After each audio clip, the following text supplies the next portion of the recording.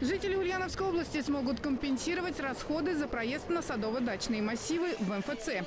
Для этого собственник дачного участка должен обратиться в Центр «Мои документы» единожды с сегодняшнего дня и до 31 октября включительно. Право на компенсацию за проезд имеют пенсионеры, безработные, одиноко проживающие граждане и семьи с доходом ниже прожиточного минимума, установленного на территории Ульяновской области. Сейчас эта сумма составляет 14 тысяч 19 рублей на каждого члена семьи. В период летних каникул ее также смогут получать учащиеся школ и студенты очной формы обучения. Садоводам компенсируется 12 поездок в месяц. Гражданам, которые занимаются совместной обработкой дачных участков, необходимо подавать документы ежемесячно до 15 числа, чтобы получить компенсацию за предыдущий месяц.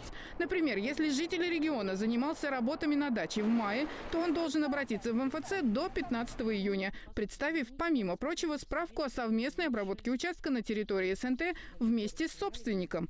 Получить более подробную информацию о данной услуге и уточнить перечень необходимых документов можно по телефону единого контактного центра 37 31 31, код города 84 22.